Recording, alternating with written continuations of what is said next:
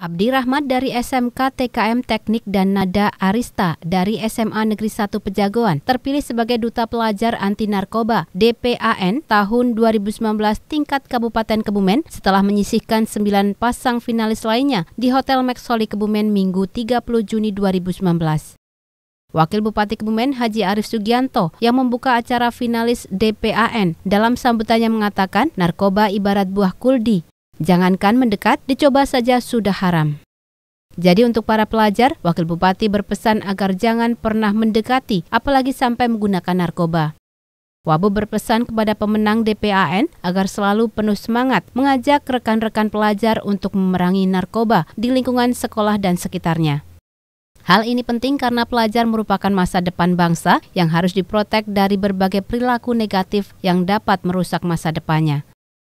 Pada kesempatan yang sama, Kepala Kantor Kesbang Pol Kebumen Nur Takwa Budi mengatakan DPAN ini nantinya akan melaksanakan tugas dan fungsinya melakukan sosialisasi anti narkoba ke sekolah-sekolah dan turut aktif dalam berbagai kegiatan yang diselenggarakan oleh pemerintah Kabupaten Kebumen.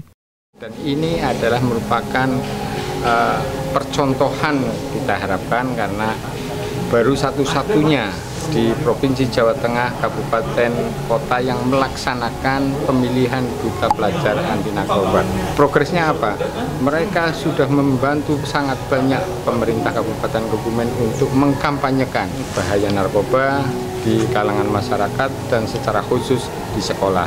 Dan kami libatkan untuk kegiatan-kegiatan tersebut baik di event-event yang diselenggarakan oleh pemerintah kabupaten atau mereka berinisiasi sendiri untuk melaksanakan sosialisasi ke sekolah-sekolah.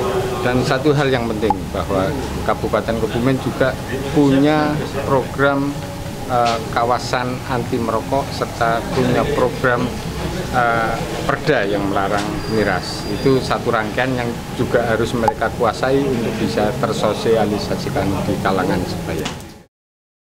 Para pemenang DPAN ini menerima hadiah tropi, piagam, dan uang pembinaan sebesar 2 juta rupiah untuk juara pertama, juara kedua 1,8 juta rupiah, dan 1,6 juta rupiah untuk juara tiga. Dari Kebumen Tim Liputan Rati TV memberitakan.